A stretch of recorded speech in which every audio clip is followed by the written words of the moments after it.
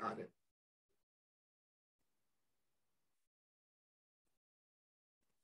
Okay, well, welcome everybody. It's about a minute after the hour. Uh, my name is Kelly, uh, and I'm the convener of this, this panel roundtable discussion, exchange of information, kind of uh, exchange of experiences kind of, uh, kind of event. Uh, before I get too deep into some of the other details, one of what the whole idea behind this was to have people sitting around literally in a circle almost, uh, just chatting and talking about their experiences in dealing with, with the COVID pandemic and how that affected their work and how affects could affect the work going forward on, on environmental peace building. This modality using um, uh, Zoom doesn't necessarily make that an easy process, but I hope we can do that. So uh, that's where we're coming from. By the way, in the background, you'll see a, a picture of, of, the mountains of, of uh, France, um, Geneva in the foreground, mountains in the background, and we'll have a prize later for whoever can find the, the Matterhorn. Um, Good. Why don't we go to the next slide?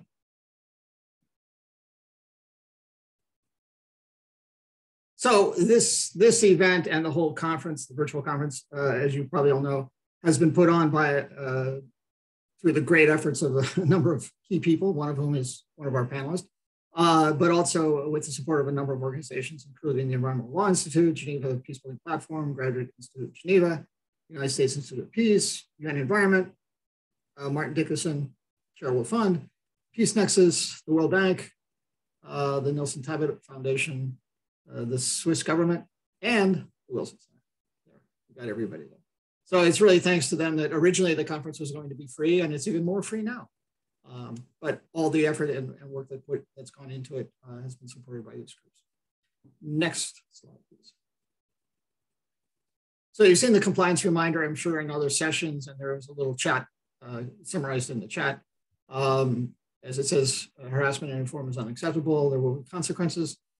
Uh, and there are the people you can contact if you feel that, that there have been anything uh, that's you consider unacceptable behavior uh, during this event or any other part of, of the conference.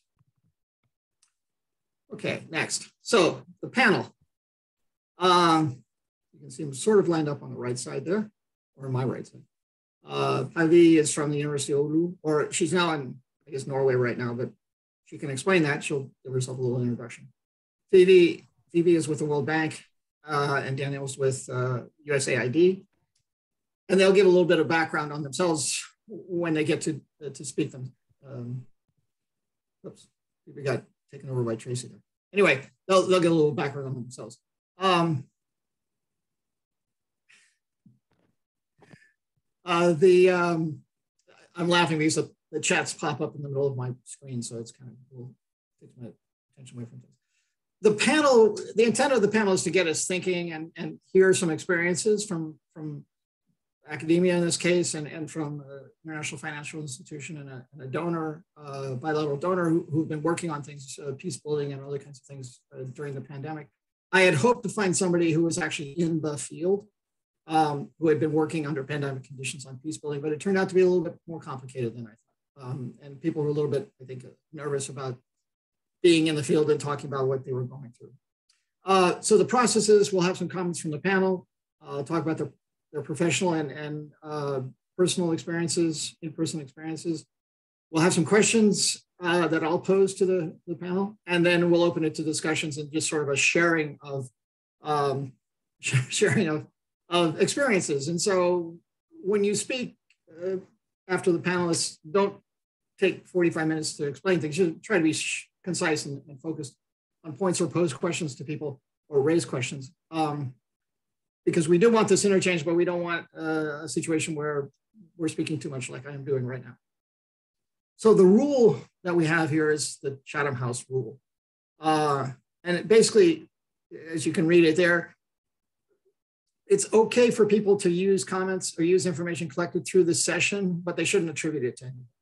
And all of us in this meeting are, are in the session are speaking personally. We're not speaking on behalf of our organizations unless we specifically say that. Uh, so I'd like some understanding, I hope for some understanding of uh, participants so that nobody gets too, uh, too anxious about what they're saying, or they should just be careful, or uh, start recording, writing down everything and then publishing on the front page of the New York Times. I don't think would happen anyway. Good, next slide.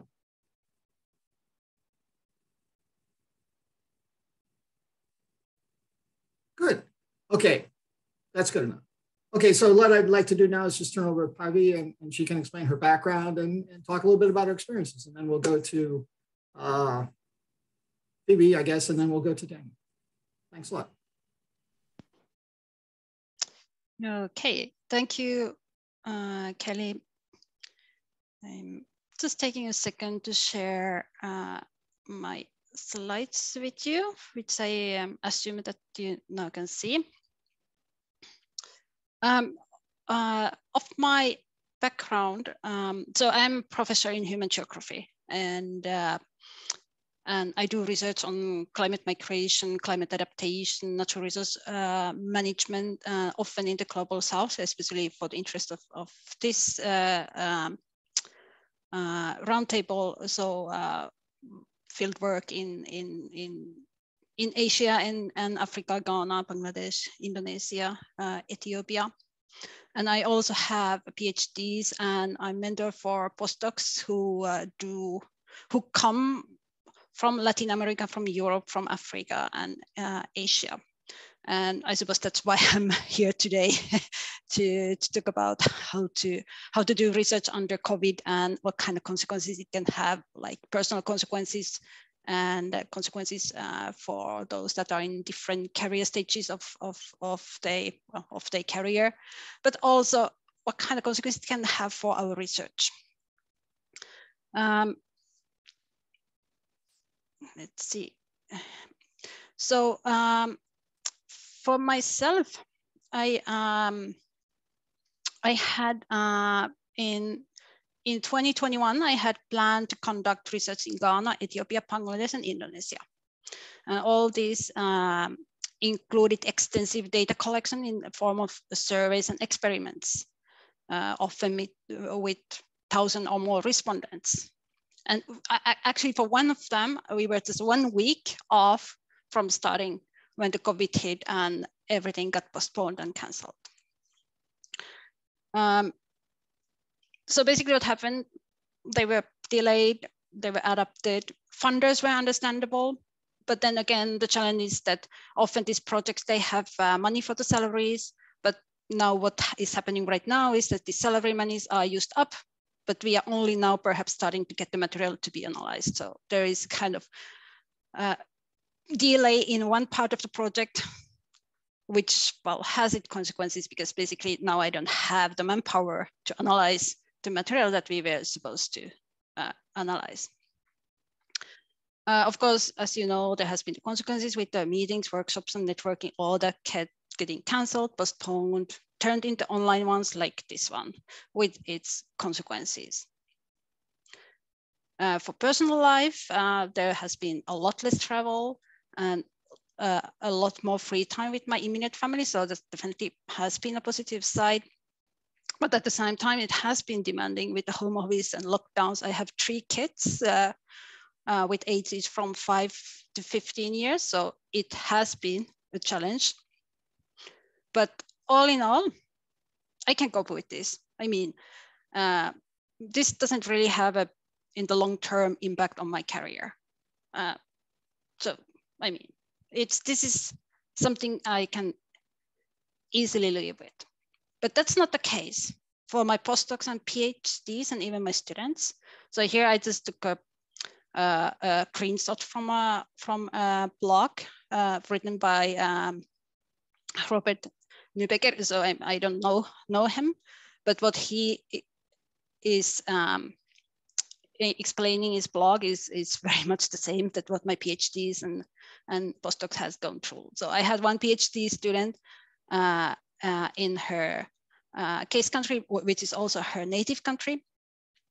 He she left a couple months before COVID for the field work, had to stay at the university in the in the country, and and then never got to go to the field and stayed for months to end uh, waiting for the opportunity to go to the field. But that opportunity never came and she had to finally return to Finland. Also, I had a postdoc in, in actually in the same country. Was one week into the field work when she had to come back. So, um, so this of course has consequences of, of, of the research, the uh, they of, like have to they have to go for the plan C, they have to go to plan D. Um, there are consequences for networking and learning. Meetings don't happen, workshops don't happen, conferences don't happen. So what does that do with the learning? What does that do to networking? Some of them we can capture with the online meetings, but not all of them, I think. And for some, even this can have, have consequences for the career, career the stops, the changes, uh, funding runs out, the papers do not get written, and that can have a grave consequences for uh, in career advancement in, in this stage of the career. There is also the social cost. Uh, writing a PhD is awfully a lot of working alone. And it's struggling often. And now even the closest peer group at the university own department has not been there. So uh, it, it, has been a struggle. And the psychological costs, I don't know, I don't think we even know that yet, what these are, but the continu continuous living in the uncertainty, experiencing the stress, the delays, the career changes, the adaptations, the breaks, dealing with expectations. Um, I mean, on top of actually doing PhD, which is um, very demanding project and time of life uh, in, in, even in, in normal times. Um, then uh, something that I, I, I, would like to highlight in this context is it's not only about me and, and, and my colleagues or my, my PhD students, postdoc, postdocs is also about people whose time we use in our research, with whom we cooperate to generate the knowledge. And I think uh, what we really have, have to think through, and I think this is something that we can also continue and should continue thinking is that the burden that we cause to the people that are living through a prolonged uh, health crisis, with, which has grave implications for their life and their life prospects, often in, in our field in the context of that is already very demanding. So kind of what research can we do? What kind of extra burden we can cause to people that we do research with or we use in our research. And with that comes to the management of the expectations. So what can we, what can our study participants expect from our, our research? And I, I think these are issues that are always there and we should really carefully think about them. But I think the COVID has put an extra layer, a new layer onto this. And we should really think about these things when, when we plan our research and how, how we do our research when we are out in the field. Um, I, I, I also would like to highlight the kind of the general positive impacts that impacts that I see in in the in our research, either my own research or other people's research, because it's of course it hasn't all, only been negative, and I will come to the negative a little bit at the end. But I, uh, I would like to highlight that like, although it has been demanding to come with plan B and C and D for our research, especially when it comes to the data collection fieldwork, uh, this also has made us to innovate. And it has made us to use data sources that are already there. For example, using register data and, and, and things like that, or existing surveys. But like in my case, where so what I do often in my research, we, we run field experiments and those are designed in such a way that you cannot really replace them with the register data. So that's why all my fieldwork has been basically postponed because we couldn't figure out for our particular research needs uh, and the alternative sources for the, uh, for the data. Um, but I, I would like to highlight the, the new ways to collaborate and, and share material that has come with the COVID. so that involves uh, kind of involving and trusting our local partners and giving them more responsibility, trusting their work, but also importantly, giving, giving them more credit. Uh, of course, there are also the innovative new ways of field access, like online interviews that can be appropriate sometimes and also decrease our carbon footprint and traveling and, and all that, which is in itself is good, but also that we actually have realized that sometimes we can get equally good uh, research material by, for example, using online interviews or online surveys, all depending on, of course, what we are researching.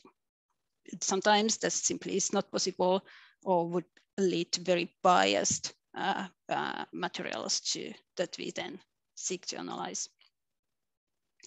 I also think that one of the um, positive side has been that for many people, there has been more time to write. And as I mentioned, also use data that already has been collected because there is so much data already collected out there.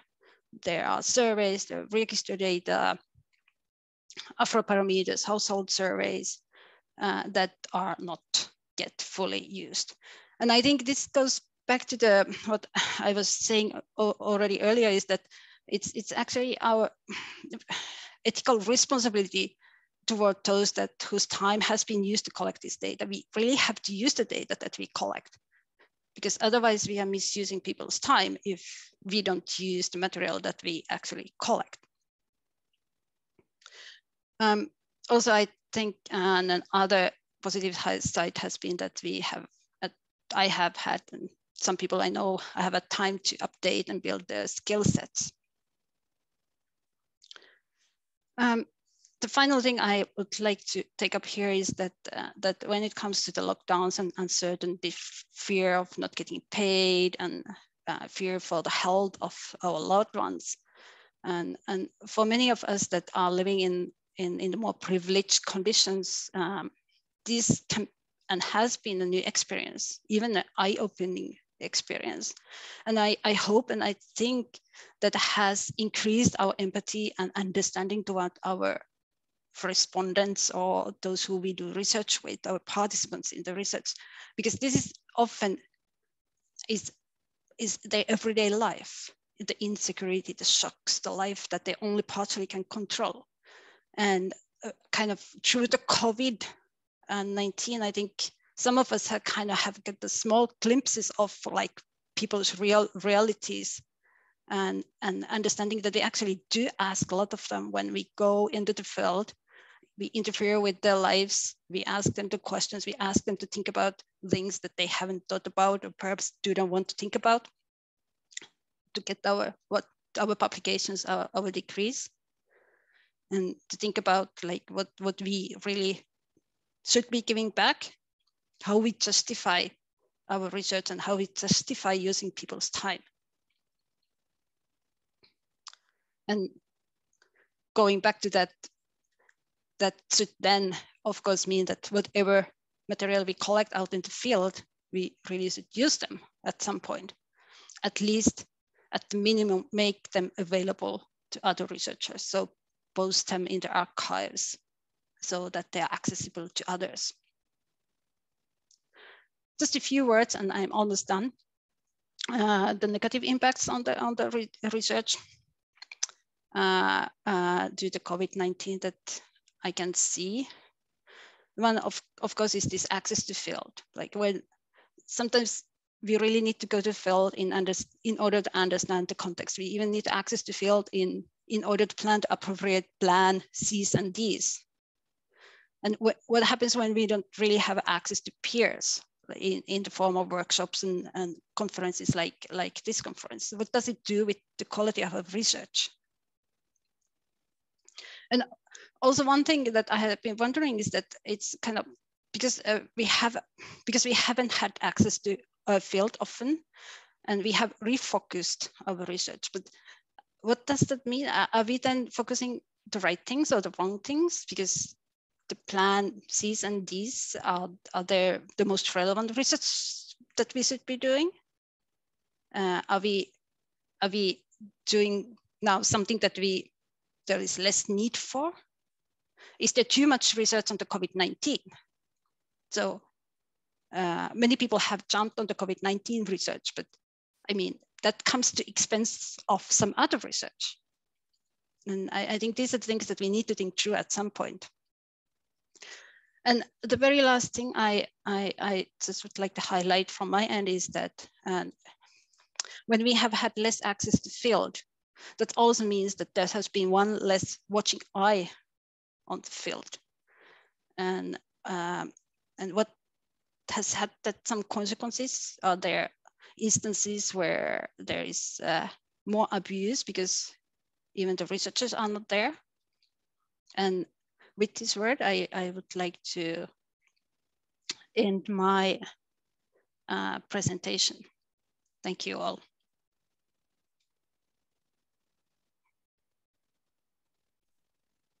Thanks a lot. Now we can just go to Phoebe. Take it. Thanks a lot, Kelly, and thanks, Päivi. That was very interesting. Um, it's quite different than what I'll talk about, but um, but I think they actually complement each other quite well. Um, my name is Phoebe Spencer. I'm an environmental economist with the World Bank. I'm based in DC, but joining you today from Beirut. And um, I'm going to talk about kind of from the um, international development perspective, sort of um, the things that we've been dealing with around environmental peace building and COVID 19. Um, obviously, there have been a lot of ways that, that these two spheres have been interacting um, over the past couple years.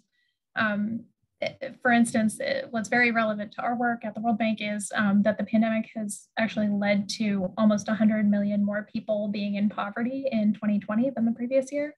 Um, that's a, a huge, um, you know, a huge blow to to um, the development world, really, and and is um, not easily overcome. yet there are lots of things that we can learn from from the kind of processes that we go through in order to deal with this and in order to try to um, help the people that are, are hurting the most during this time. Um, as Päivi pointed out, there are lots of things that are um, that are restricted on the ground. So um, one thing that I'll talk about is kind of how we engage stakeholders now um, compared to, to before the pandemic. Um, then I'll kind of zoom out a little and look at the way that uh, the people that are often um, very natural resource reliant, um, might face degrading uh, natural resource assets due to breakdowns in service delivery or supply chain issues. Um, and then kind of how we can think about addressing COVID-19 and climate change impacts together in order to maximize the impacts of both. Um, so on kind of the, the, I'll start at the smallest and kind of zoom out, but the stakeholder engagement that we do, you know, whether that's speaking to an individual or speaking to a group, looks so much different than it did before um, in many settings. And yet, um, in fragile settings, it actually sometimes doesn't look that different um, pre and post pandemic. Um, there have always been challenges um, with stakeholder engagement in fragile settings. And in the World Bank context, for a lot of projects, actually, um, there have been so many lessons learned that were, had previously been thought of as stakeholder engagement for fragility. Um, it's now see we're seeing that kind of stakeholder engagement for fragility is actually stakeholder engagement for for anyone um, that might not be able to be reached in a traditional way, that might be afraid to gather, or where um, you know uh, where advertising a, a, group a group gathering um, might be dangerous, or it might be um, difficult for people, even if you know it means that they have to get childcare or something like that um, in order to attend a traditional stakeholder engagement meeting. Um, those things uh, are barriers that have existed long before before the pandemic, and now that um, one of those added barriers is, um, you know, uh, that people shouldn't or can't gather together. Um, we're seeing that a lot of these different techniques are actually being used lots of different places, and they're not really being relegated anymore to think of to, to being thought of as just kind of for the fragile context. Um, what's interesting about this is, um, so at the World Bank, we have different groups that focus on things like remote supervision. We have um, a group called the Geo-Enabling Monitoring and Support Team, so they go by GEMS. Um, they've really focused on the fragility and conflict setting before um, in terms of using geospatial data um, to look at, at kind of different monitoring things. which is really obviously very relevant in the context of environmental peace building because we can see changes in environment from the air lots of the time. Um, and this is actually being adopted more and more um, to sort of couple these um, these kind of from the sky looks at um, at environment, and you can look, see a lot more a lot more than just you know changes in tree cover or something from the sky. I'm coupling that with um, ground surveys that are focused maybe mostly on um, you know using tablets or using cell phones to collect data and then um, pulling that all together. Um, and of course, in all of these things, we have to um, understand that there's a greater need for cultural interpretation in all of this too. Um, when there's when there's not a traditional setting, um, when groups are being uh, are having discussions separately from each other, you might miss important interactions between them. But these are all things that we can learn from and can continue evolving, um, and that sort of aren't just for um, you know one method for one setting um, and it never has been, but now we sort of have extra evidence that that's really the case. Um, phone high frequency phone surveys have also showed that um, they're no longer just used for um, the most fragile places where people can't um, have someone knock on their door and ask them questions. They're actually used it, it much more broadly now. Um, another lesson though is that we have to make sure that even though uh, sometimes the barriers are lowered for some people, so say that person that couldn't get childcare to go to a stakeholder engagement meeting, they may still face the barrier of not having Wi-Fi or not having cell coverage. Um, and so they may still be left out of, of these new methods too. So um, something to keep in mind um, as we as we conduct stakeholder engagement. Um, the second thing, moving on kind of from the stakeholder engagement piece that I want to talk about is widening wealth gap. Um, I mentioned this, this rise in poverty figures.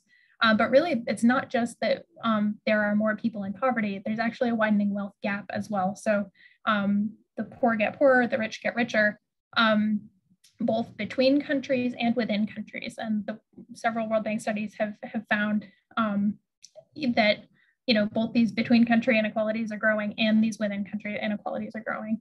And that's really, really tough um, on the poorest and especially on the natural resource dependent poor um, and when this uh, when this wealth gap is, coup is coupled with sort of the isolation that communities can sometimes face in rural areas, um, uh, from not just uh, not just from other communities, but from the services that they might be provided by a government, this also creates challenges, um, and it just continues to widen that wealth gap. Really, um, the World Bank and the UN recently released a joint study, um, a Pathways for Peace study called Inclusive Approaches to Preventing Violent Conflict. And that highlights the role of equitable access to services um, like health, like social protection and education that are really crucial um, to several things, but including um, public trust, um, minimizing fragility and overcoming the pandemic. So all of those things together, they're not just um, they're not just a kind of a one one-stop shop um, when you provide education or when you, um, you know, when you boost a health system. And um, the people that were facing fragility before the pandemic are actually those that that need that support, especially, of course. And governments often try to provide such services so that they can kind of help stabilize areas that are in turmoil. Um, but when the service delivery is disrupted, of course, that can really have dire consequences, um, especially if people are really dependent on those um, and the the redirection of, of resources as well when resources are scarce and they get redirected, for instance, during a pandemic, perhaps toward health, um, other other sectors, of course, suffer. Um, in terms of uh, having fewer resources for environmental peace building, um, one example that always sticks out to me um, is that um, in protected areas that rely on tourism, when um, when tourism has dropped and there's not as much funding, for instance, for um, guarding a protected area, then suddenly that area becomes quite vulnerable to poaching or to um, other types of resource degradation. And then that kind of undermines that, well, tourists aren't going to come back anymore if there's, you know, this degraded area. Suddenly there's a whole local economy that depended on that that now doesn't have um, the same base to rely on, even if the pandemic were to stop tomorrow. Um, so there are these long-term consequences that can really arise through these things. Um, and then finally, you know, I, I feel like um, talking about the pandemic invites a lot of um, uh, sort of feelings of hopelessness around this, but there are um, there are opportunities as well, um, and that includes looking at recovery from the pandemic and um, mitigating climate change impacts together as a real opportunity to come out of this, you know, hopefully stronger. Um, these there are two global disrupt, disruptions, both the pandemic and climate change, that play out in the same time in the same space, and that is to say now and everywhere. Um, and the intersection of these has lots of negatives that we see. Um, I mean, the supply chain problems that we see, of course, um, those are really tough for people that are dependent, for instance, on um, raw environmental assets that are being sold sort of as the first step in a manufacturing process. Um, the people selling those raw natural resources, whether that's tropical hardwoods or minerals that are used in electronics, those um, things might be exported um, and the value add for whatever they make, a microchip or something, you know, that value add does not uh, does not come to their community, that comes to another community. And when the supply chain breaks down, the community that that has the raw assets is not they're not getting anything suddenly. They're not seeing the benefits of a rising price from the scarcity of the final product. They're seeing that they can't sell their raw resource anymore. Um, and this can actually degrade the resources around them if they are then forced to sell off their, their resource for, you know, a much lower price or at a much higher rate just to make ends meet, or if they have to switch to a subsistence economy all of a sudden from a market one um, and degrade the assets that um, that could have been used in a more sustainable way before. And that's assuming that they were used in a sustainable way before. So there are a lot of environmental consequences to this. Um, and of course, at different levels too. Um, in terms of opportunities for positive change at the intersection of, of the pandemic and climate change, um, we can think about leapfrogging innovations. So um, this new report that just came out, COVID-19 and climate smart healthcare, uh, provides a really good example of that where um, lessons from the, the global health response to the pandemic can actually help countries build stronger health systems that are climate smart. So um, this, this report has a framework, for instance, for um, leapfrogging toward climate smart, smart universal health coverage. Um, and that means that suddenly a place that didn't have universal health coverage in the first place um, could actually go from not having a system or having a quite weak system to having quite strong one that is also climate smart, that is also um, you know, anticipating the needs of a different type of environment that, that might exist around it and that's not contributing to climate change um, in the way that a traditional health system might. Um, so there are lots of opportunities like that out there. Um, and of course, it takes money often and it takes willpower. Um, so those are things to, that are uh, should not be um, you know, this should not be glossed over, but um, if there is, if those things are there, there are opportunities. Um, there's also more opportunity for localization and connection with sustainability. Um, the World Bank is, is supporting a lot of countries now with investments um, to restore degraded landscapes and develop climate resilient infrastructure. So um, those are sort of with a longer look forward um, than perhaps a traditional development might have been made, if, you know, a decade ago. Um, so these are these are ways that you know we can kind of think about um, uh, sectors that aren't necessarily sustainable by definition, um, actually making those uh, both um, kind of climate smart eh, or at least um, not uh, contributing to climate change. Um, uh, you know, making those better at the same time that the that big investments under the guise of um, pandemic recovery uh, are being made. So this is, it's just a way to address those at the same time. Um, so, you know, I, I will leave it there. I think um, I'm really interested to hear what Daniel has to say, and um, I hope that the discussion can continue further. Thanks.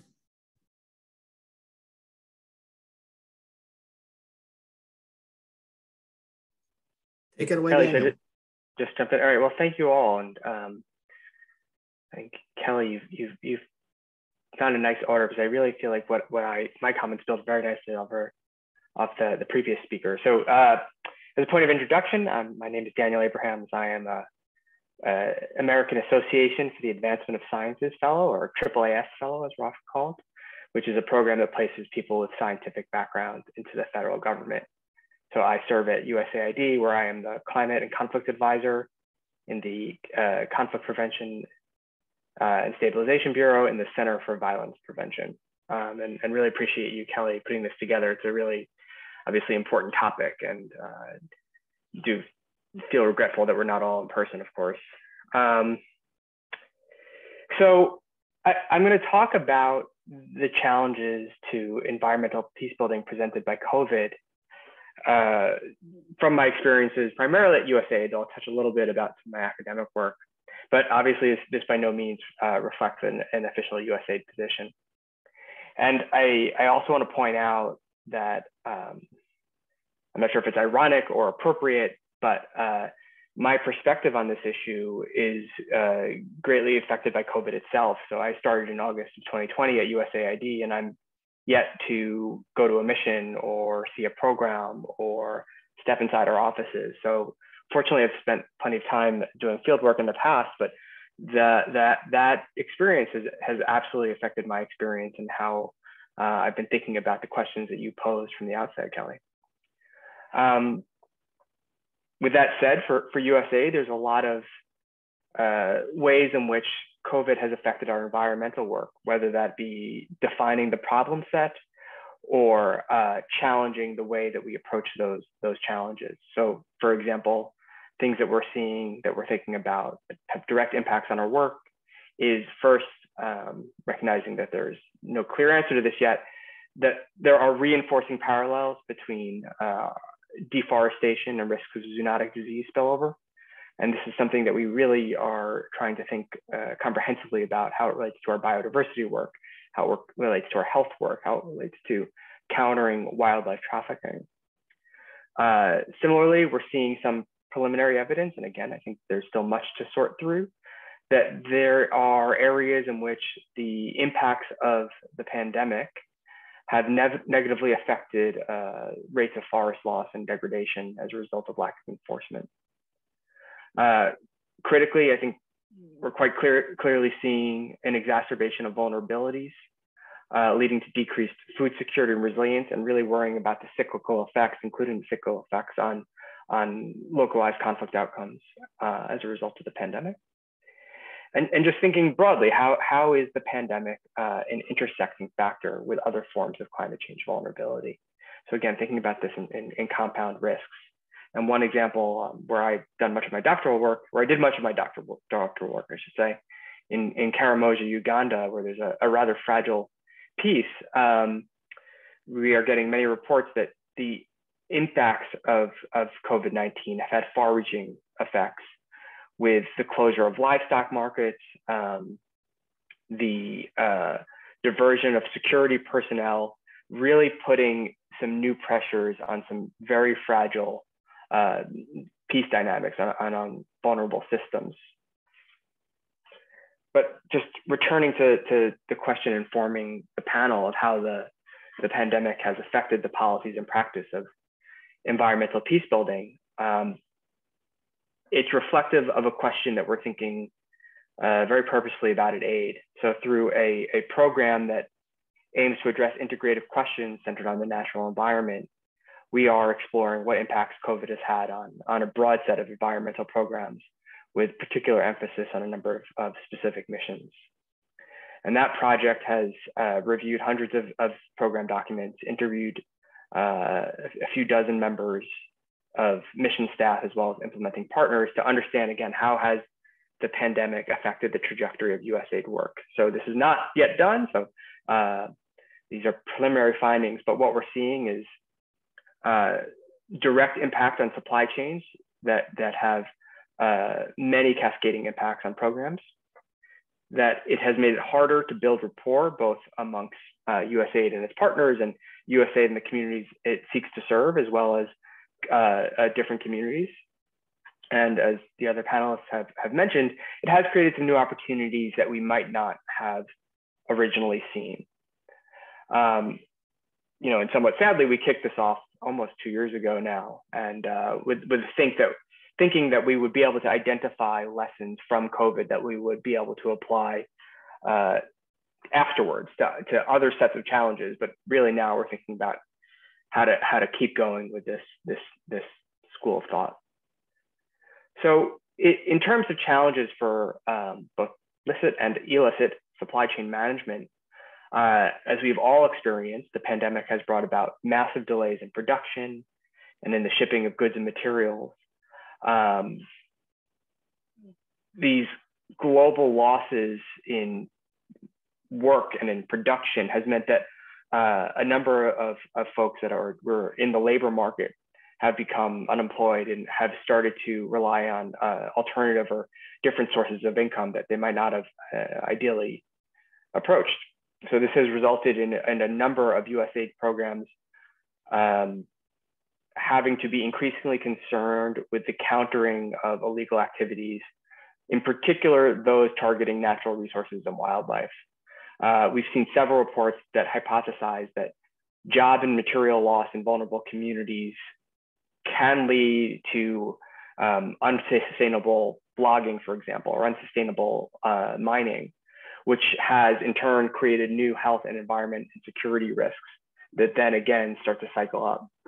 Uh, so for example, we've seen uh, reports of uh, illegal slash and burn crop production in Madagascar and an increase in coca production in Peru. Um, similarly, we've also seen a number of programs that have been challenged by uh, not being able to receive or deliver key materials as it relates to, to, to USAID programs. Uh, the next issue, and I think it's easy to overlook or, or dismiss it as minor, is, is the challenges of building rapport. I think this is especially important as it relates to, to sort of traditional peace building, traditional environmental peace building efforts with travel restrictions um, and stay-at-home orders becoming more common, being able to meet physically for training, for community consults, for conferences, for uh, monitoring and evaluation, this, this just became unfeasible. Um, lockdowns kept staff from, from creating relationships with key stakeholders and, and building trust just, just by being there. Um, Many programs have effectively canceled or postponed field work entirely. Therefore, we've seen um, programs across the board, across geographies, having to completely rethink how they engage with communities. Um, for some, this has meant going fully virtual with their communication, um, with implementing new protocols and, and working with uh, stakeholders to increase their technological access and their, their comfort with some of the, the virtual formats. But uh, naturally, as I am sure we all can agree with, both the mission staff and implementing partners and, and participants are, are reporting uh, just fatigue with those virtual interactions. Uh, additionally, from a, a, DIA perspective and from understanding how particular communities uh, or, or, particular demographics within communities become vulnerable, we're seeing uh, uh, new risks come with the shift to virtual. So stakeholders with limited access to online services often cannot easily participate in, in virtual activities and often cannot communicate uh, amongst themselves. So there's been some mission in implementing staff that have worked to uh, address these, these risks and address these shortcomings. Um, for example, during an initial lockdown, when there, when there was um, a lack of enforcement um, in particular areas in the Amazon or increased criminality, uh, indigenous leaders in one, in one USAID country created a WhatsApp group with, with an environmental minister, which allowed them direct access to a really important decision maker and, and effectively a virtual seat at the table. Um, and similarly, there are examples of how the pandemic has enabled space to address broad challenges that are, that are absolutely critical for resilience. Um, for example, in, in, direct response to the challenges of the pandemic, one project that was designed primarily from the perspective of having um, environmental goals aimed to, to increase uh, people's resilience in the Amazon through increasing online access. So it offered small grants and some internet installation as well as uh, online learning workshops for Indigenous leaders that, that enhance technological skills um, with the goal of allowing um, telemedicine consultations, increasing um, uh, sort of both uh, traditional medicine as well as, as some, some newer forms of medicine in the region. So even if, if the pandemic were to end tomorrow, I think it's important that we would not, in that case, think about this in retrospective terms. These, these what, what is abundantly clear is that the impacts are going to be reverberating. They're going to require new considerations in how we design and implement programs, certainly in the midterm and, and likely in the long term as well. So just for example, the financial implications for government budgets are uh, are severe and will continue to be severe as governments are forced to put their money towards health. Um, they are dealing with contractions in cash flows, and if uh, history is at all a harbinger, will result in less income and less resources and less manpower for uh, environmental programming and efforts around environmental peace building. Additionally, uh, with government lockdowns or organizational lockdowns, the ability to protect environmental resources and implement, in particular, people to people peace building are going to be uh, severely challenged. Um, and in so much as peace building is about building trust with and between communities, time will need to be reinvested uh, to, to bolster those efforts. And finally, I think there's an additional perspective to consider, which is that as the impacts of the pandemic became uh, felt both in economic and, and, and all other terms, many people had no choice but to substitute their, their income um, and to draw upon natural resources, often in ways that were illegal or perhaps uh, culturally frowned upon. And this is going to be a driver of new risks related to resource related grievances that um, will also require compassion um, I was asked when I when I was sat, was able to sit in an interview with an implementer, and we asked about the increases in illegality as a result of the pandemic. She kind of froze or shivered for a second because of of the need for that compassion. She stressed that um, there had been disruptions in supply chains, and the loss of income had put many people in a community into fundamentally survival mode, and and really stressed that a heavy-handed response um, could drive resentment and inadvertently increase the risks of political violence. Uh, and I personally see that as sort of underscoring the need to consider these dynamics and, and, ensuring conflict sensitivity. That, that that COVID is is effectively a part of of, of the landscape now, um, whether or not the pandemic somehow uh, goes on much longer or would miraculously just end. So just in conclusion, for USAID, we are still determining what the effects of COVID will be on our efforts. We know in the short term that, that um, the little things that make programs work, for example, distributing cash in person, uh, being there, communicating, uh, working in the spaces of communities, they are going to be hindered. It is going to be a challenge. This, this affects rapport, this affects relationships, and uh, from an environmental peace building perspective, this is, this is a, a major impact. So um, our ability to understand and, and also under, understand the implications of those losses are limited uh, because again, we're, we're not able to be there in ways that we once were. So with, with that, I, I would turn it back to Kelly and, and, and look forward to a conversation. Thanks. Uh, thanks a lot, Daniel, uh, Phoebe, and, and Um, I actually had a question. I was going to pose you a question of what's better or worse and, and what next, but you guys answered that question already. Uh, before we go to sort of a more interchange kind of thing, I wanted to actually raise one point that I didn't hear between the three presentations, and this comes out of some work that we were I've been involved in with the International Association of Impact Assessment. One of the people we were working with on the task force pointed out that uh, a lot of paperwork isn't getting done. because a lot of paperwork for environmental impact assessments or permits or all that stuff that relates to environmental issues and, and you know community development plans and everything in many countries is, is paper it's not electronic And so one of the consequences is that even though people may be filling out the paperwork and sending it to the office, there may be nobody in the office to do the paperwork. And that's going to that is resulting in a, in a big mound of paper that's going to take a long time to get through. So it's another addition to the to the balance between you know people doing things right and, and being able to do things normally and the fact that even if they submitted all the paperwork, it may be a year or two before they get the answer saying yes, they can go ahead and do that. And how do they meet their needs and how do they do things in that interim period? I think is is an interesting interesting challenge. Good. So what I'd like to do now, thank you very much for your presentations. They're very good. Uh, Tracy has already commented that we actually have a bigger picture here that's developing. I think that's good. What I'd like to do now is just turn this over to anybody who wants to add in their own experiences. I saw something in the chat about uh, from, I think, Bangladesh.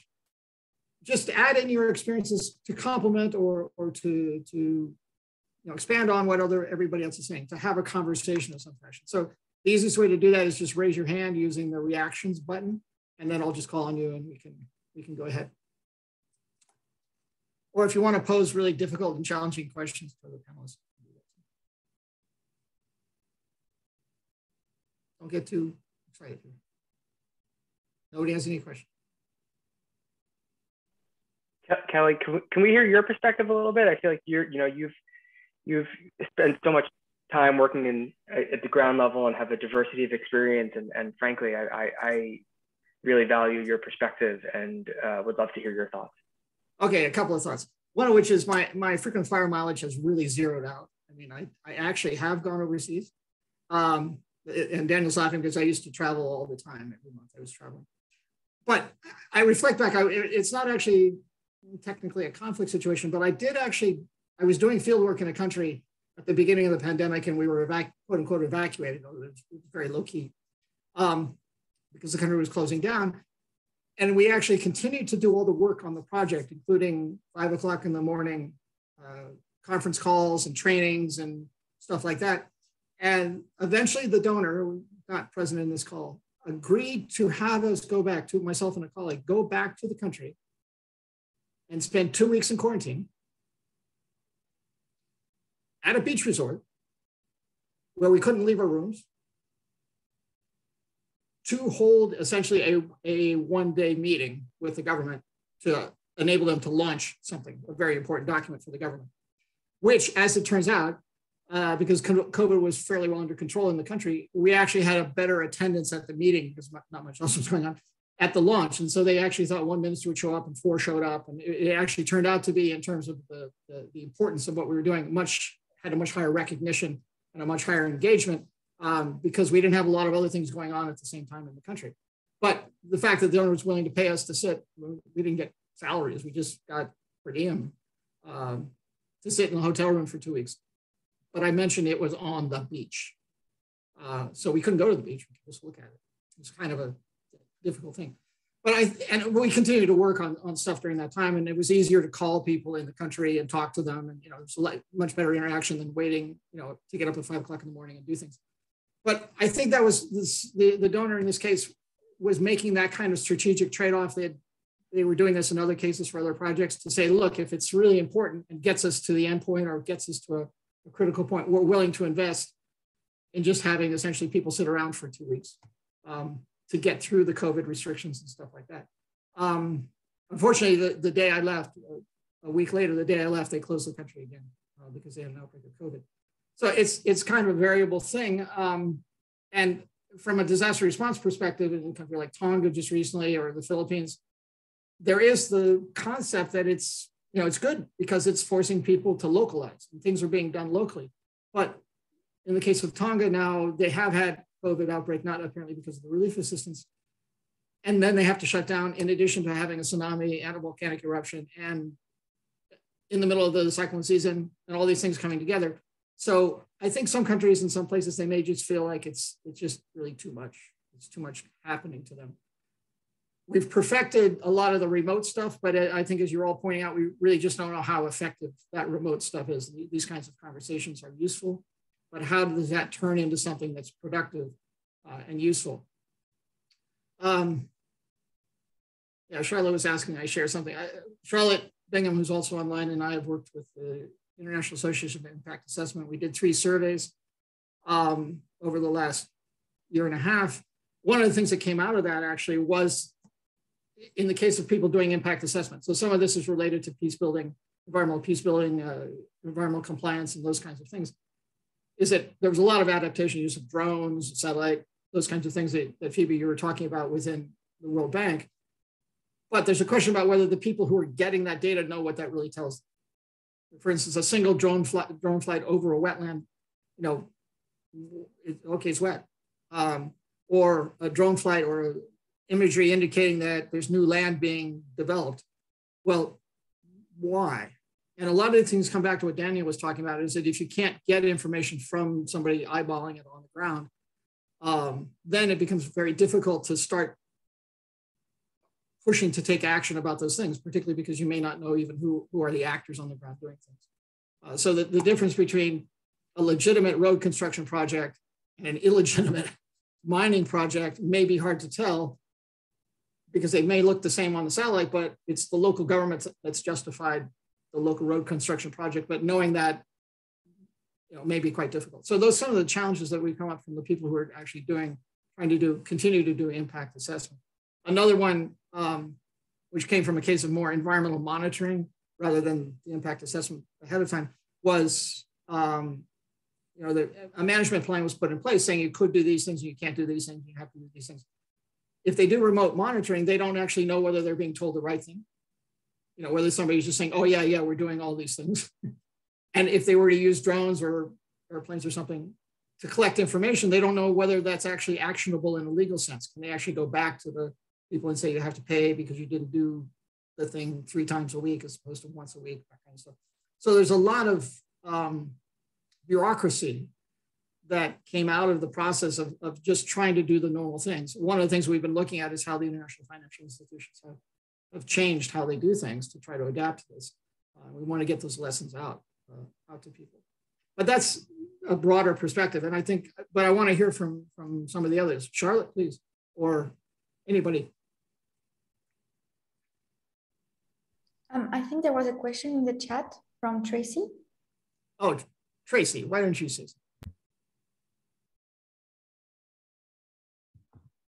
something? Hi. I'm so used to um, I'm so used to putting my questions in the chat. I guess you can call upon me and I can read the question. So um, what I was saying, what I I kind of opined is in that I think what worries me most about the work we're doing with each other and in the field and the work that are even, you know, those in the, just across humanity is the degradation of social capital that comes with not seeing each other face to face. Um, and that we're drawing down social capital by, you know, working um, in WhatsApp or, and not being able to see each other. And so, you know, we're, we're substituting technology and perhaps we're leapfrogging in that regard. But my experience um, is that we don't treat people as kindly at, at the worst when we're not meeting in person.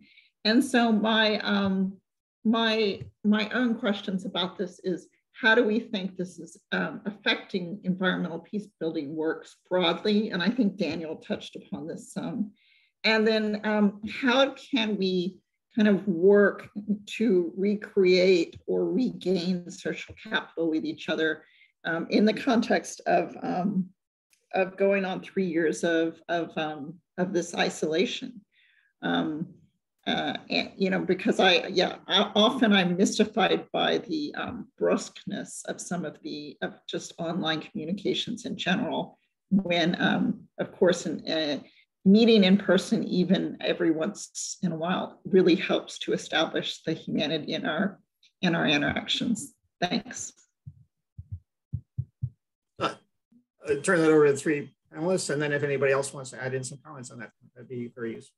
Uh, I can I can see a few words from kind of from the perspective of, of research, and uh, what I find worrying. Uh, for example, my university now is imposing the policy that now that we because we now know that we don't need we can meet online and we can have the meetings conferencing online they want us to restrict travel because now they know that it's not necessary, right?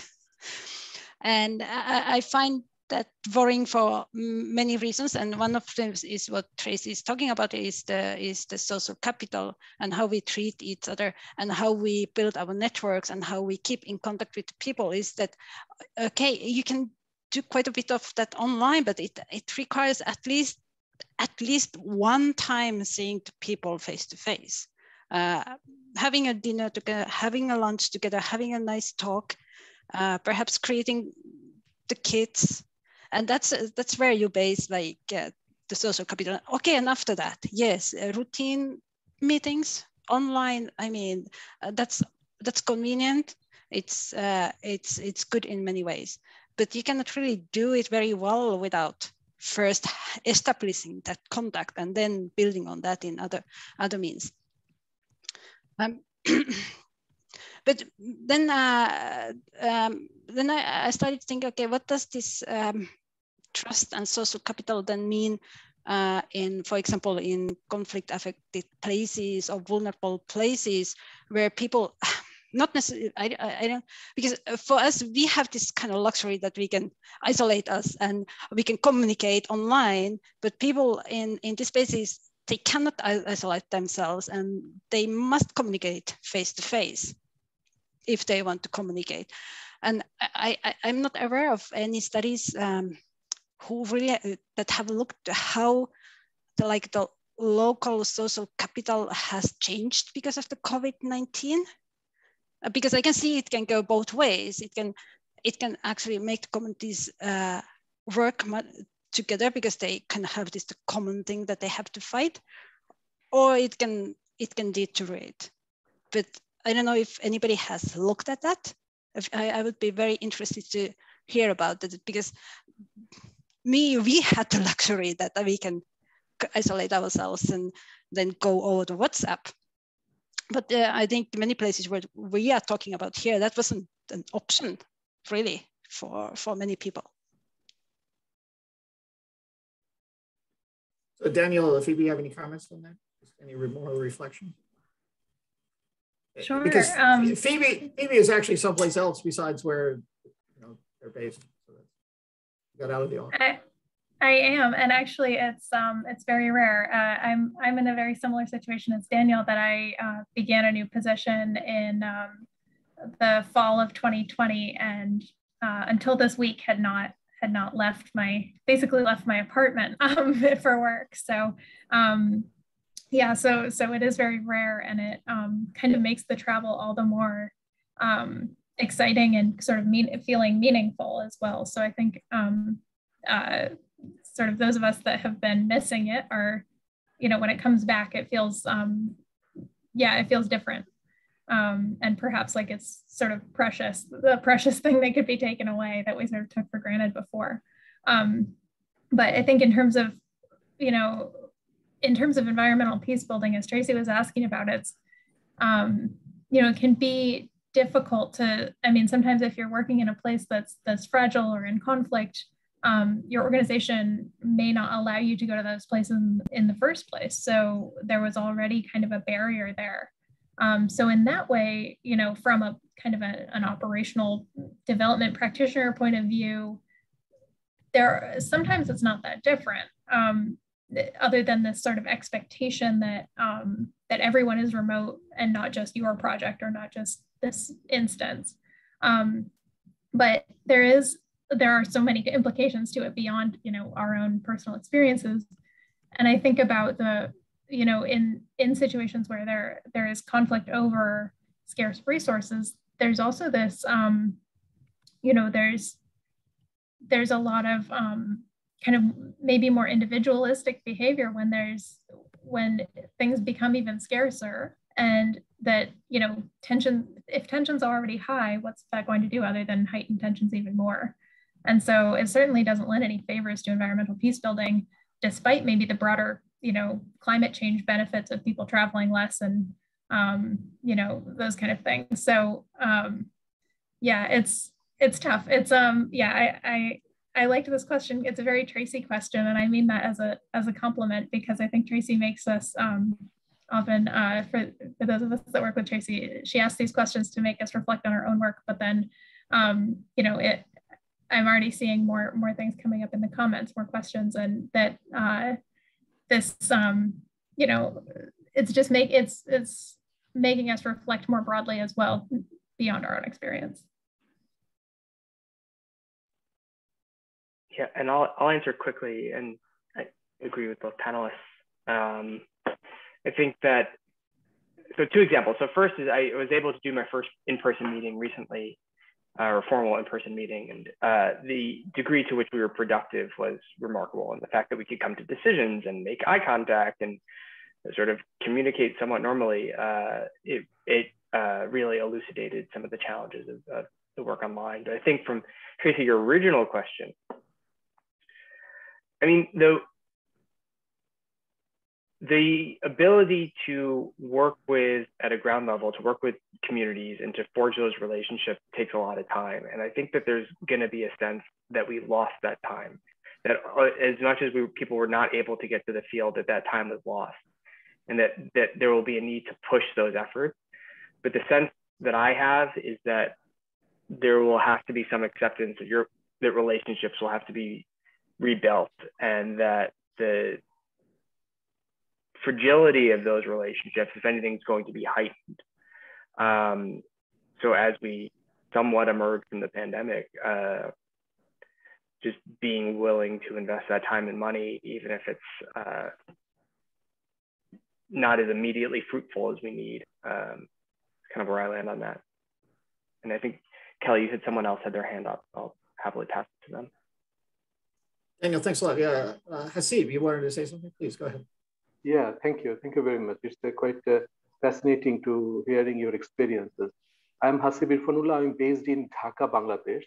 It is 1 a.m. Uh, of 4th February, so I'm well ahead of you all. Uh, I would like to share three uh, examples from Bangladesh. Uh, one is disaster. at the beginning of COVID-19, Cyclone Amphan hit to Bangladesh on 20th May it was a fascinating experience because we never, because a cyclone is a quite, quite a regular event in Bangladesh, but maintaining social distancing while getting uh, away from cyclone was an amazing experience, which Bangladesh uh, used its uh, 50 years long uh, cyclone preparedness program to manage that as much as possible. Fortunately, not uh, much uh, devastation took place back then.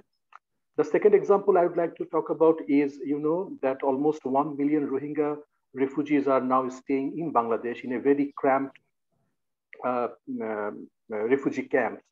Uh, and once again, um, in COVID-19, at the beginning, we thought that it might be, it could be really, really devastating uh, because social distancing, maintaining them, maintaining hygiene in that uh, uh, water scarce area would be really, really difficult.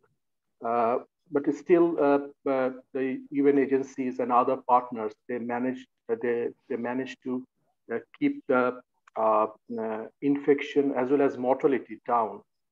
The third example is about research, as we have been hearing. And sometimes I think that priority matters. I can give you a very quick example. There was a collaboration between an European university and a Bangladeshi university uh, in early 2021.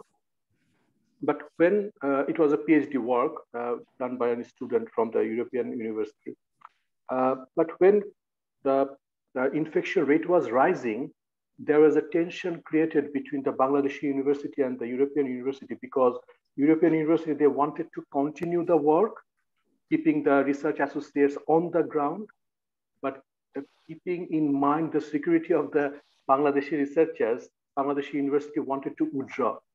So that example actually shows that sometimes our priority uh, matters, uh, uh, which may go beyond the need for maintaining uh, social distancing and uh, other uh, maintaining hygiene conditions. so I wanted to share these three experiences from a different part of the world. Thank you. Thank you very much for giving me the opportunity to share. Thank you. I see that's excellent. And the idea of the parties to research and projects implementation having attention about we want to go ahead, you don't want to go ahead, those kinds of things. I think that it probably will end up can end up highlighting the power uh, tensions that exist between the parties and the funding issues and things like that. Um, as I said, with my own experience where the donor allowed us to go and, and, spend time in the field, it was a long process that we got to that point. Uh, and we were voluntarily, we agreed, that myself and my colleague agreed to do it. Um, but uh, there was a lot, it wasn't something that happened quickly or easily because the company we were working for also was concerned about that. Um, any other comments or, or, or, feedback or experiences uh, in COVID? Daniel, you have something you want to say or you just waving? Oh. No, I was like half halfway through a sneeze there, Kelly. okay. Anybody else have something to add? Um, um, this is Päivi.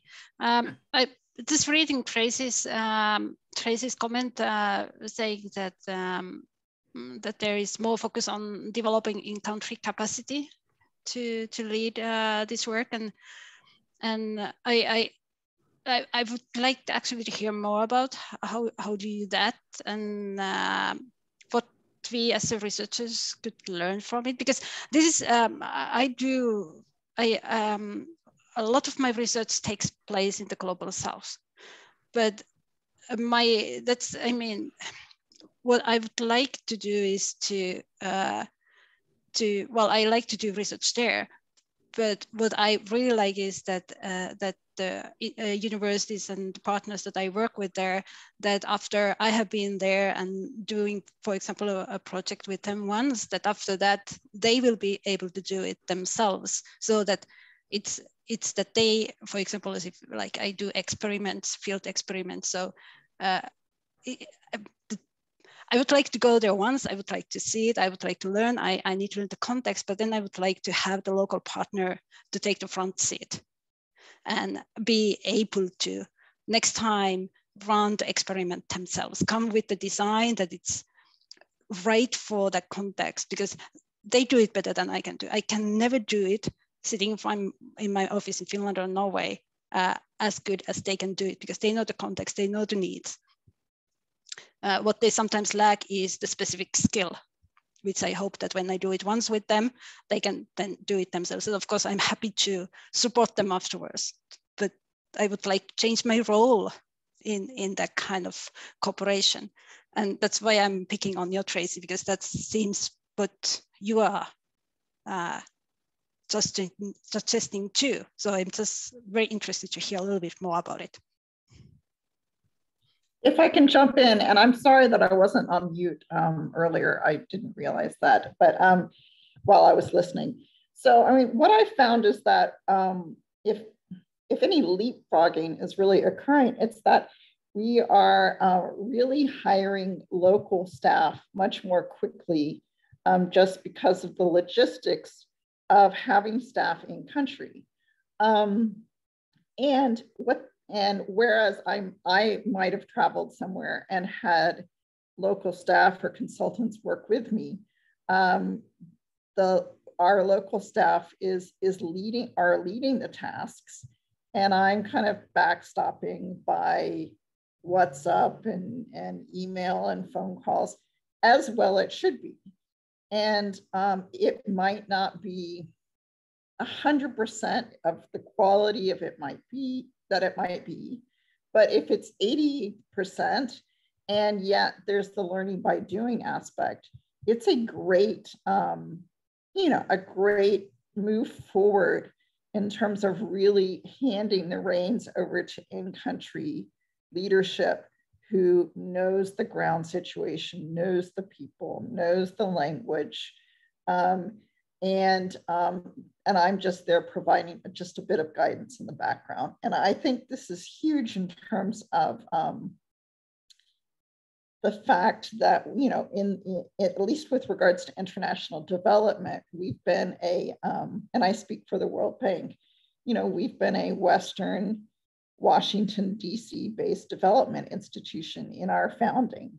And um, we need to change that. And I think one of the um, positive impacts of COVID is we're changing that much more rapidly than we um, were um, prior to COVID. Over.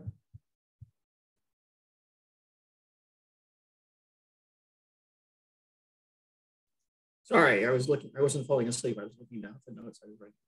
Uh, any other comments or feedback or suggestions? I, one of the things about the institutional change process is that I suspect there's all this great idea there's going to be all this institutional change, and then later people are going to figure out, well, maybe we shouldn't really, you know, it's kind of the, the old model of organizations going, oh, we're going to decentralize everything to the field. Oh, no, that's not. We're, we're going to re-centralize everything. I, I'm, I'm kind of wondering whether the, the other wave, the, the return wave, is going to come and say, oh, yeah, we've hired all these local staff, but you know, we, we need to meet 90% rather than 80% and, and things like that. It's a, almost a natural reaction or counter reaction that goes on.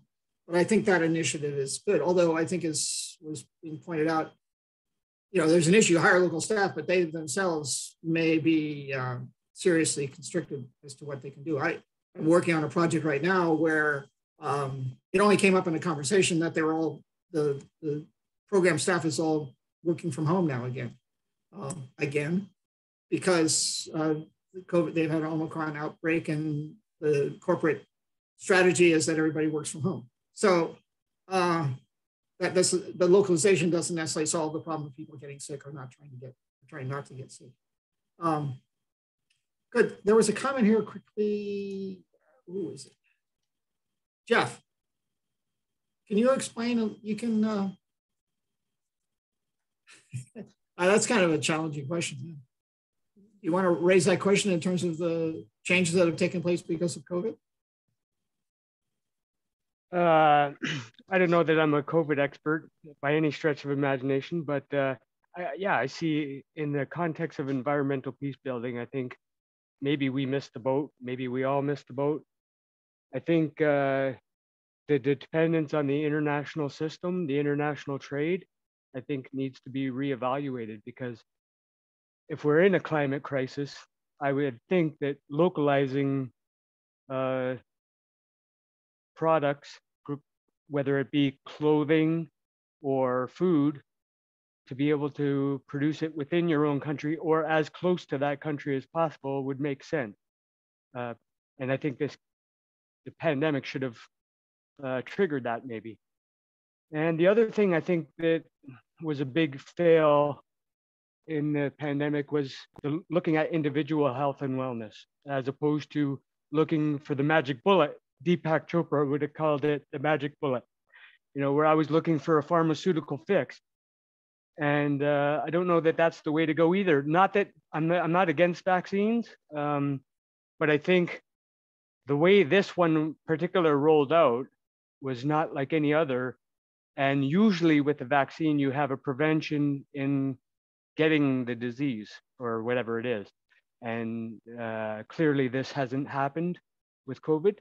And so I think we need to look at either adjusting the formula of the current vaccine um, so that people, so that we can come up with one that people don't get it. And uh, maybe looking at other alternatives like comorbidities. I don't think they ever really looked at that. I follow a, a public health researcher in New York, and she's published lots of stuff on uh, comorbidities people's health. Uh, and a lot of it was censored, actually. Even in Canada, we had, uh, she would put a link in on Instagram, for example, and I would try to click on the link and be redirected to a vaccine promotion thing from the government. So it's a, uh, you know, I, I, think there's a lot of room for improvement on how we can really address the pandemic. Yeah, uh, Jeff, thanks for your comments. Uh, I think one of the issues that I see it from my background in disaster, working in disaster management um, more directly, is, is that there are a lot of lessons that had been learned long ago about how to deal with pandemics or endemic epidemics, uh, in some cases pandemics that didn't seem to get through to the, the process of actually doing things here. We obviously have a major issue with large parts of the world not having access to vaccines, and therefore, as in the case of South, Af- South Africa, getting a lot of people getting sick, and then that having knock-on effects. Um, and that seems to be where we actually have this tension. And some, I think one of the comments was from Päivi actually was, you know, we're spending all this time talking about COVID. Are we missing other things? Are we, we focusing on COVID and this? It's not in a context that I'm, another context I'm working in, the organization really keeps one to do everything it normally does, even having conferences, you know, or planning for conferences and things like that, as if COVID is can be managed by having everybody wear masks and have a vaccine requirement, which is not really the case. And so the idea that we're in the middle of a crisis, and if we can just keep going doing normal things, we'll be able to come to the end of the crisis. It'll be over Tuesday, and then we'll go back to the normal way of doing things. What I'm hearing from the comments here is that some of the, at least the people involved, the, the panelists and others, is that there's a recognition that this isn't going to be something that ends on Tuesday. It's going to be a longer term process, and, it's going to result in some significant changes there. Um, but where we know about those, what do we know about those changes is, of course, a good, a big question. Uh, predicting the future, obviously, is, is quite a challenge. But I'm going to come back to that point. Does anybody else have any comments? In about two, about three minutes. come back to that. Does anybody else have any comments or input? Well, we're having a conversation. You know, we're, we're all standing around drinking that coffee that they didn't give us, eating those croissants, French, Swiss croissants with the nice chocolate inside, or the pain au chocolat, eating those too fast, you know, I got to stop eating so much, drinking the coffee too fast. Jet lag. I'll, I'll jump in just tr Tracy, sorry that I'm jumping in again, but you know, I, what I just wrote in the chat is I think one of the silver linings that I just found in Jeff's comments is that COVID has certainly um, challenged and hopefully increased the ability of each country to be, uh, be able to respond to a global crisis on a local level. And, um, you know, hopefully each country involved has learned its lessons about uh, pandemic response, not only, but also disaster response. And just disaster response is um, one of the elements of um, the broader um, environmental peace, peace building which is, you know, how do you how do you um, diagnose um, what a disaster is, who the uh, where the immediate impacts will be, how it how it will um, broaden out from the immediate impacts, how to prioritize or triage response, how to crowd in money, um, uh, what needs to be put on the back burner, et cetera, et cetera. And hopefully some of these broader lessons at the country level about how to manage this response will leak over into um, environmental peace building. Over. That's always the wish. Uh, that after the disaster, everybody's going to figure out that they don't want to do that again. Sometimes that turns out to be the case. Uh, Samuel, you have your hand up? Yeah, th thanks, Charles.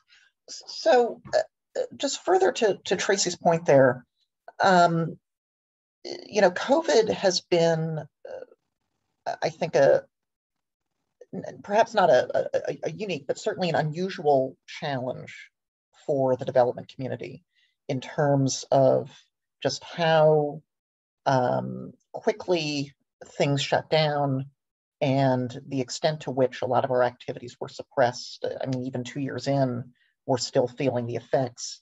Whereas I think a lot of the, the challenges that we traditionally think about in environmental peace building tend to be more localized um, and, and perhaps um, are a little bit more asynchronous in, in, terms of when impacts are happening. And so uh, uh, recognizing that you know we've got five minutes left, I can't start too much of a new discussion. But uh, are there things from the COVID experience that are perhaps unique to COVID, and are there lessons from this experience that um, may, not be able to be applied to the kinds of you know whether it's it's um, transboundary water management or um, uh, or forestry issues or, or, some of the, the more traditional things that, that we talk about, um, uh, you know, what, what care do we want to have in terms of interpreting COVID more broadly to, to these other issues? And are we at risk of misinterpreting some of the lessons from this event to future shocks? Very good point. We got four minutes left. Um, wait, just... a minute, wait a minute, wait a minute, wait a minute, wait a minute. I'd like each of the panelists to quickly answer. You have a minute and a half to answer that. But at the end of your answer, I'd like to, you to tell me where we're going to be in two years. Answer the question and then where will we be in two years?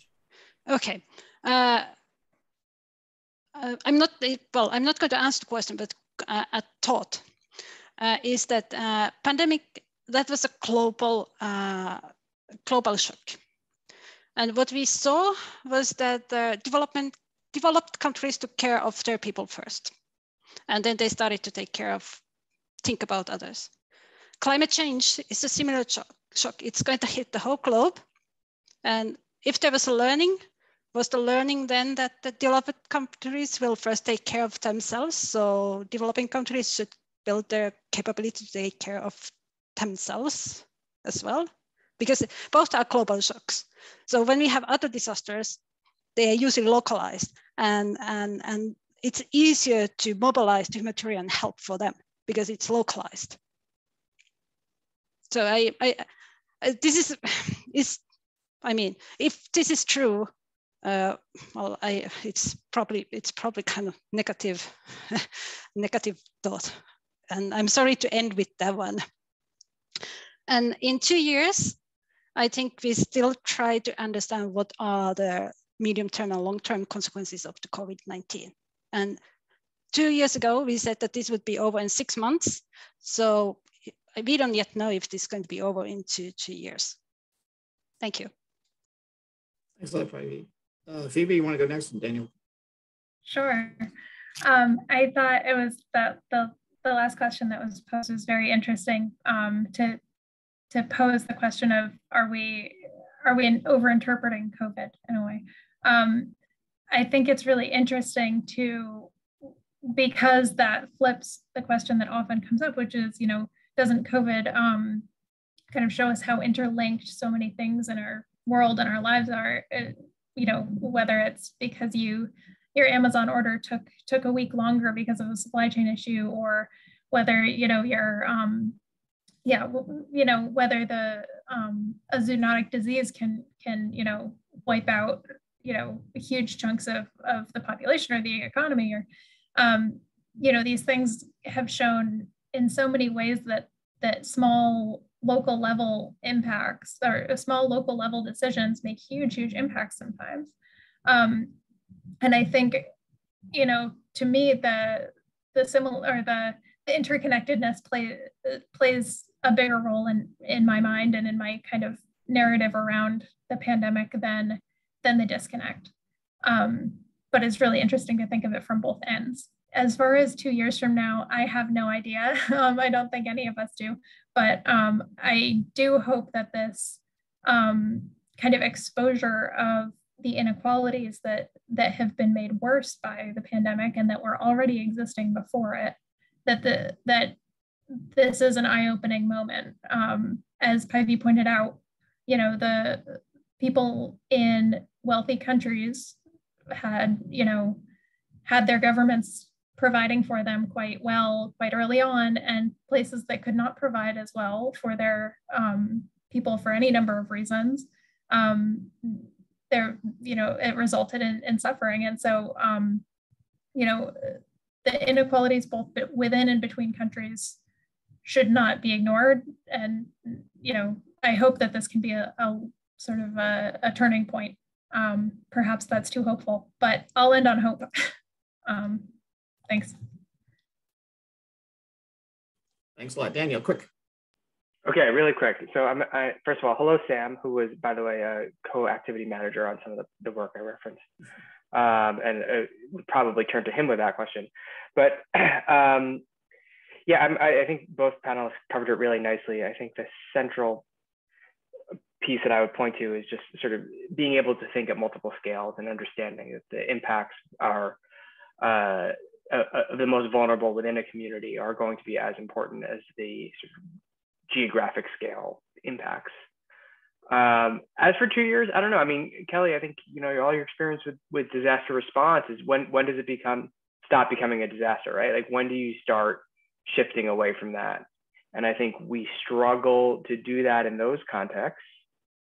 I see no uh, reason to believe that we won't struggle to transition away from this is an emergency to this is something closer to uh, a rebuilding process. And uh, I would like to be more optimistic, but uh, at, at present, I am not.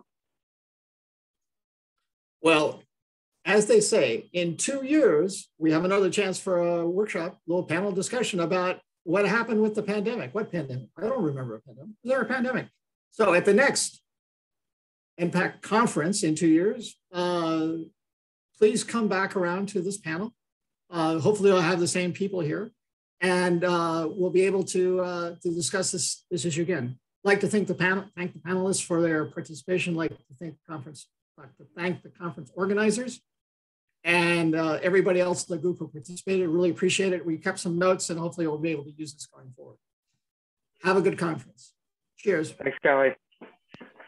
Thank you. Thank you. Thank you very much.